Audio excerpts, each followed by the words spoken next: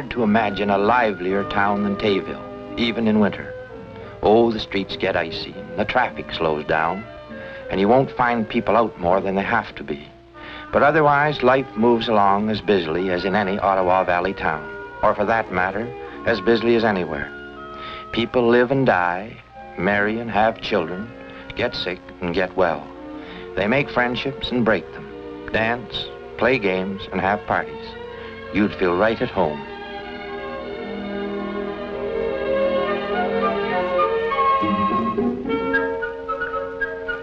By far the most popular pastime, at least for the majority of Tayville men, is the ancient and honorable game of curling. They say only a Scot can enjoy sliding 40-pound blocks of granite across the ice. But though we're not all Scots, we enjoy the game and the arguments that go with it. My name's Roberts, and I'm a lawyer in town. Most evenings I'm down here, playing vice skip in Charlie Jackson's rink, or just watching the others hard at it.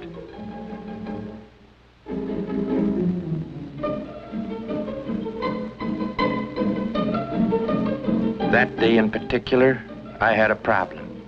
We had a game coming up against Johnny Durham's rink. Johnny's the skip, one of the best curlers going. He and his rink were out to take the cup from us.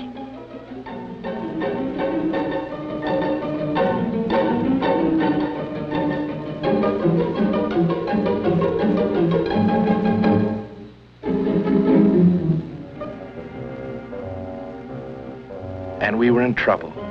Despite the cheery smile and wave, I was worried when I left the ice. Two of our men hadn't shown up, and I'd heard a rumor there was trouble between them. Oh, Charlie. Any news yet? They haven't turned up yet. Did you phone? I phoned Henderson's wife, and she said he was in the field, wouldn't be back. And McNair? Nobody home. Hope nothing's wrong.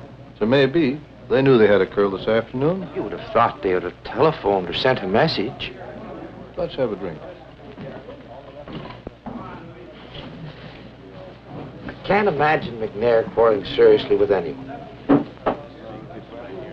Well, I've known Henderson for a long time. He has an awfully stubborn streak in him at times. You're on, Jackson. Ice number two. Okay, thanks. Well, it'll be a miracle if we win tonight without them.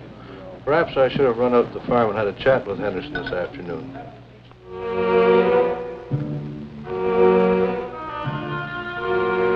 Trees are pretty important in the valley. Almost every farmer has a piece of land where he cuts his firewood. Some even spend the winter cutting logs to sell in town or to ship to the pulp mill. It becomes a serious matter when someone feels his trees are being stolen. As it happened, Henderson and McNair had been arguing for some time, and the whole thing was about to blow up.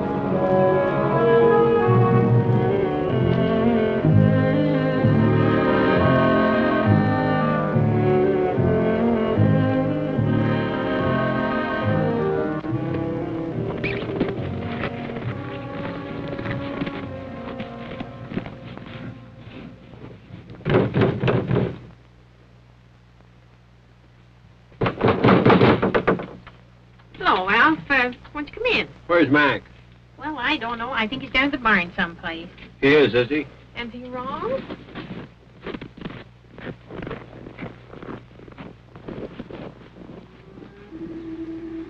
Alec, you fill the corn bucket. Yeah. Full? Yeah. That's good. Bill, you fill the wood box? Yes. Right up full? Yes. That's good. You'll get a quarter and Alec will get 50 cents. I did just much work as he did. McNair! All right, you boys. Better run along.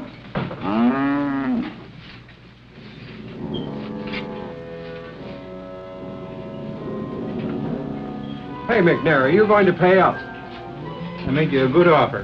What kind of an offer is that, $400 for all those trees? Man can't talk sense to you. Perhaps you'd rather settle it in court. Hey, come back here. Wait. McNair, you listen to me. Hey!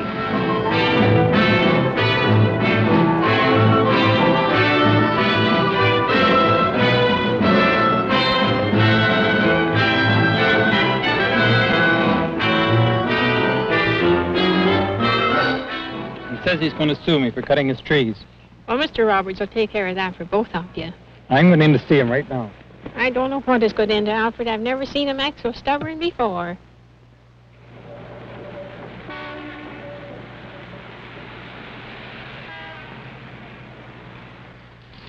Mr. Roberts. Mrs. Gorney called. About her will? She wants to change it. She's already changed it several times this year. I told her that, but she still wants to speak with you. Well, have her come in next week, will you?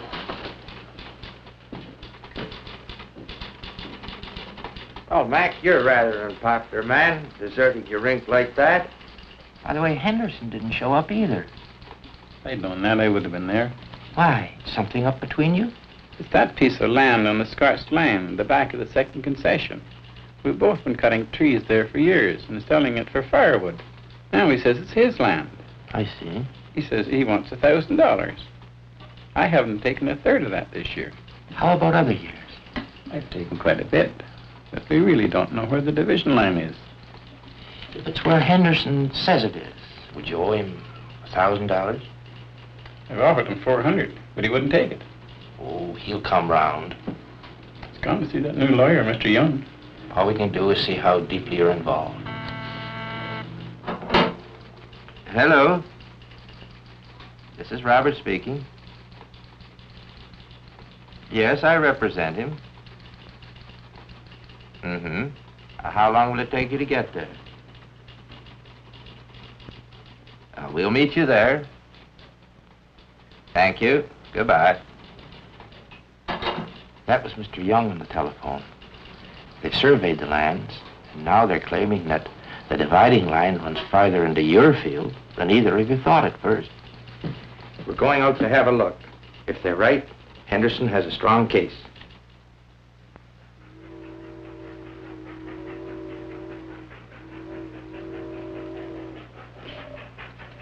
The line goes from the tree here across to the post on the left and then out to the county road. That means that Mr. Henderson owns everything from the line across. That's right. That's fine, Harold. Thanks.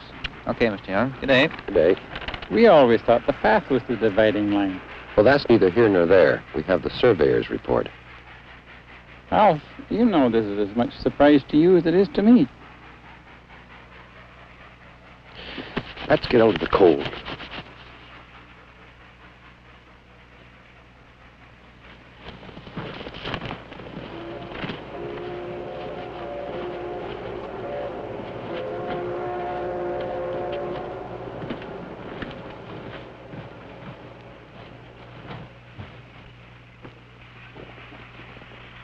This must have been some place. My dad's grandfather built it in 1830, his first home. Well, let's get back to business. Mr. Roberts, surely this situation is clear enough. I don't think anything is very clear. We have a surveyor's report, which I may challenge. The pathway line may stand up. Not in court. Anyway, Mr. McNair is prepared to meet Mr. Henderson's claim for a thousand dollars. Well, I'm afraid that was before we received the surveyor's report. A better estimate of the value of the trees that Mr. McNair took would be around $2,500. What are you trying to do, Alf? Where would I get that much money? I can't afford to lose that much. It isn't right, Alf. Come on, Robbie. We can't do any more here. Anyway, you'd think it was McNair's land the way he acts. Exactly.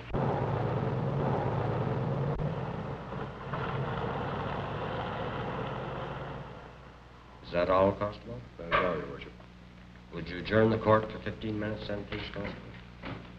Order, please. I declare the Provincial Magistrates Court now adjourned for 15 minutes.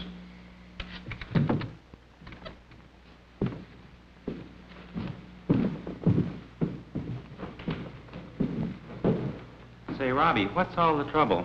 I thought you boys never let anything stand in the way of your curling. Can't explain Alf Henderson's attitude. Come to think of it, he doesn't talk much. That's always been Alf's trouble. Something had happened, he'd never talk it out with anybody, and wind up by doing something he's sorry for. Like fighting with his closest friend. You'll have your hands full. He's a good lawyer. I don't know much about him. You'll get a good chance to know him now.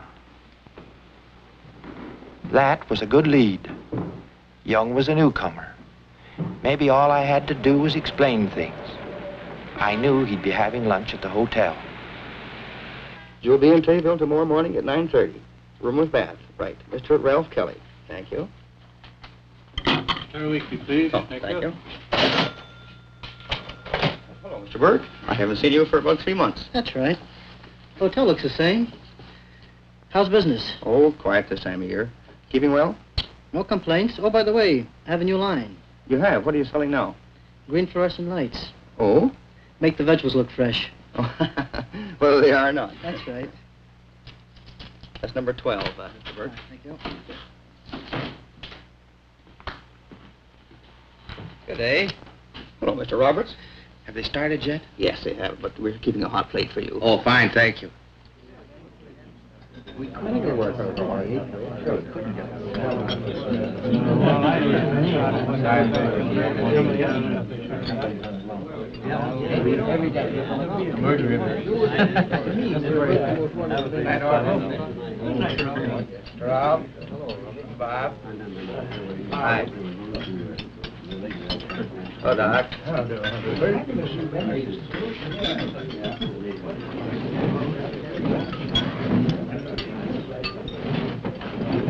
day, Mr. Young. Hello. I'm a little late today. Well, better late than never. Thank you. Tell me, how do you uh, like Tayville? It's all right. Not much court work. Well, there's not much court work in a town this size. How long have you been here? A year now? Nearly 18 months. Well, you've got to be a, here for 10 years before you're an old Taysider. I'm finding that out. By the way, must have you and Mrs. Young over sometime. We're at home most evenings. About that Henderson McNair matter. I've issued a writ on Henderson's behalf. But We don't have to proceed to trial. Why not? Mayor settling? No. As a matter of fact, he's hard pressed. So's Henderson. And he's got a good case. I'd say he'll get a judgment. I don't believe any court would award Henderson the amount he's asking. Seems reasonable to me. Look, Mr. Young, no matter how hard pressed Henderson is, he wouldn't want to ruin McNair. They're old friends. Well, I don't know anything about that. I only act for Henderson. Surely you're not acting in his best interests if you win him some money but lose him a friend. Maybe right now he needs the money.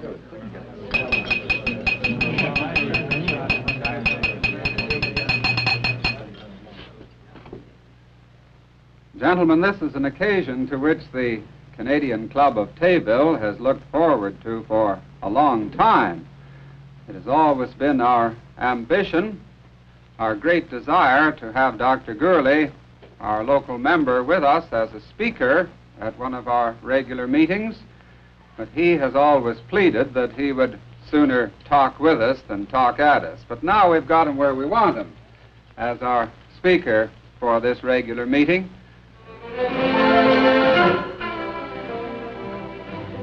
This was Turkey Fair Day, a day set aside for the farmers who bring their turkeys into town for the big street sale.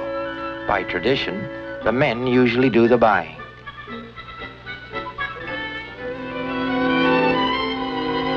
Well, I ran into Charlie Jackson coming out of the Record and Times office. He had the new posters announcing the big bonspiel. Of course, at the moment, we didn't even have a team to enter. Charlie suggested dropping out, and I nearly agreed with him. It just shows you how much I've been slipping lately. Then it occurred to me that this bonspiel couldn't have come at a better time. All I had to do was sell Charlie the idea of a little conspiracy. This turkey bonspiel is pretty important. I was just thinking about that. It's the biggest bonspiel of the year. You know, if our two friends should refuse to curl together, there isn't a thing we could do about it. Mm, no, I see what you mean. So, you'll get Henderson? You'll bring a fourth man? Right. Any phone calls? No, Mr. Roberts. Would you get Alec McNair on the line for me?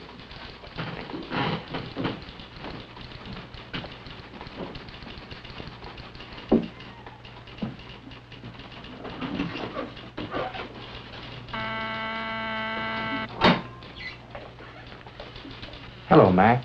Robbie here. I'm afraid I have nothing good to report. You're being sued. Oh, no, don't worry. It'll be all right.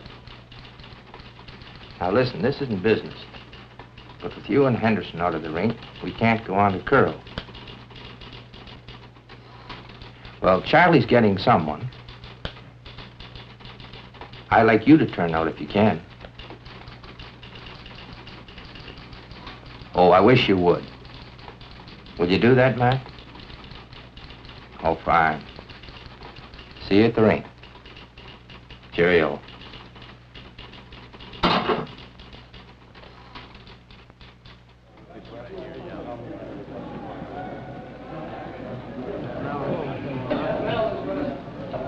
That reminds me of that story about the bear going over the mountain. You heard that, didn't you? I wonder how he's getting along. I hear he's having trouble. That's right. I don't think you'd ever catch up to that no, guy.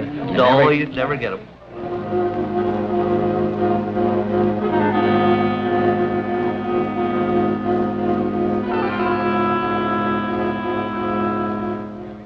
Stealing tonight, Tom? Evening, Pete. Hi. How are you making out in the field, Bill? Not bad. It's good to see you out, Al. Oh, I wouldn't want to miss this for anything.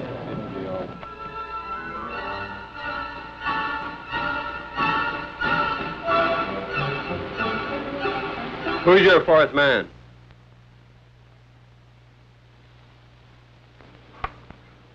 Did you plan this? Okay, you can get somebody else to call. Wait. Oh, wait a... Just a second. It's all my fault, Alf. Mac didn't know a thing about it. All we care about is winning the bonspiel. We have a good chance. Now, how about it?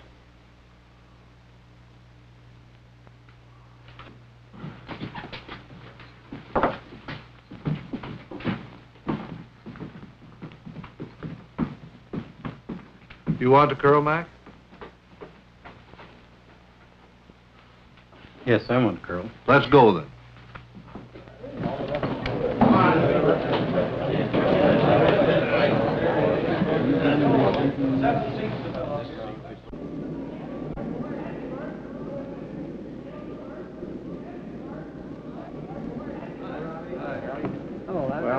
Well, good luck, Jerry. Later, Johnny.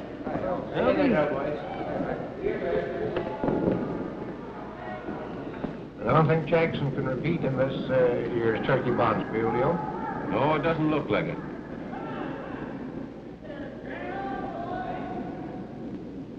But they're going to have to eat beans instead of turkeys this year. Yes, Boy, they're good turkeys, too.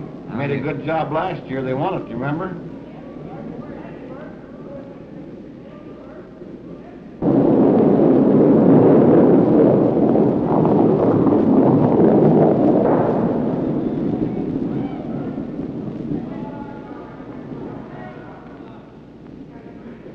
Gosh, what an awful shot. Holy gee.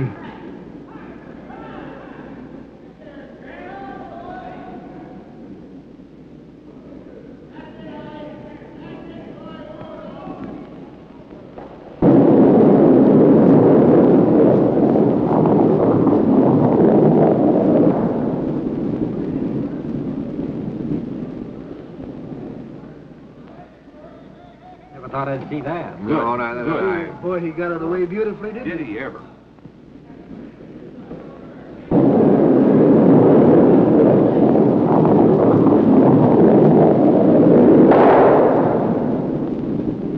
Here's McNair fixed it for Jackson with that shot. Oh, he isn't half tried it. May as well throw the sponge in anytime.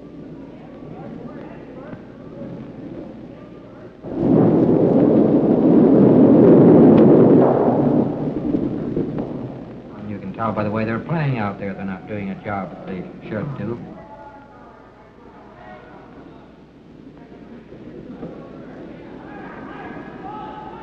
For a rink with a reputation, we didn't have much else. We curled like ladies' hairdressers. Johnny Durham's rink couldn't make a mistake.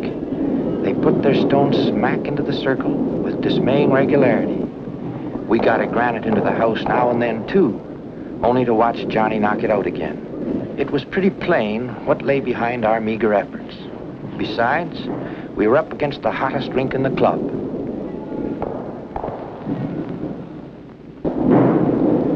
Things couldn't have gone worse.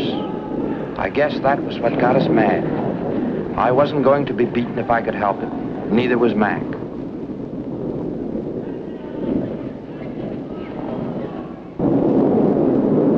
The harder Durham's rink bore down, the harder we did. Alf Henderson most of all. Things began to break our way little by little.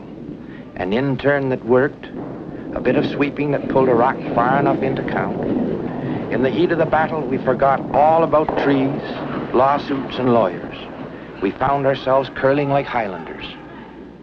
Sir, lovely shot. Want better cooperation now. We're working like a team. Okay, Mac, let's go. All right, Al.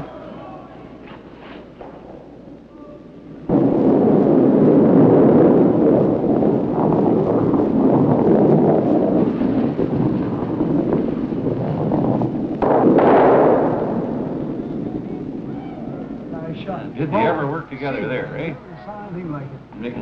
Making a great comeback. They'll have the turkeys yet. By the sixth end, we pulled even, but down we went once more. The match seesawed. But we knew we had a chance as we went into the final end. Jack, Frank certainly made a great comeback. All tied up now. Yes, you can go ahead and win it.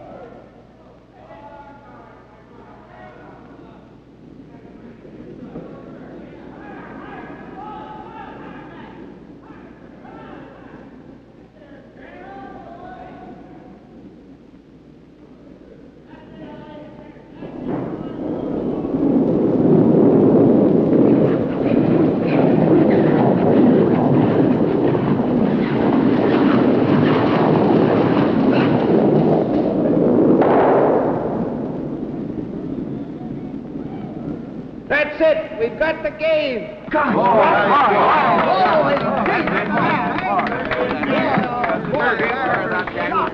Jackson wins the game.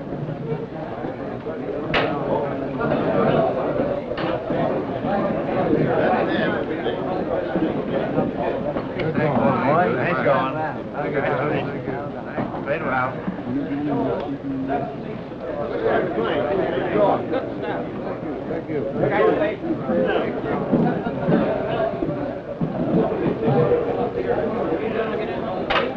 Thanks, Congratulations. I enjoyed it. Well done. You really played well. I hope we meet again sometime. Thanks a lot. Here's a couple of seats here, Mac. Thanks, Al.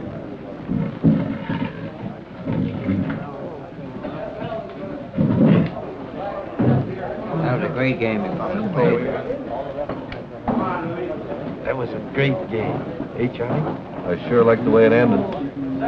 I've been a lawyer for 18 years, but no decision ever pleased me more.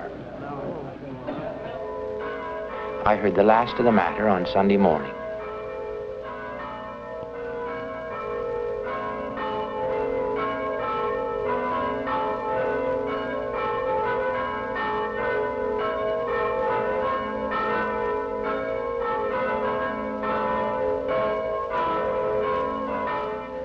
Good day, Mr. Young. wonderful Sunday morning. Seems cold to me. You ought to take up a sport. You mean like curling? Ideal sport. Mr. Henderson has changed his mind. He's agreeable to settle for $1,250. That's good news. I'll advise him to pay that sum. Neat arrangement of yours, the Turkey Bonspiel. Wonderful game, curling. Useful, anyway.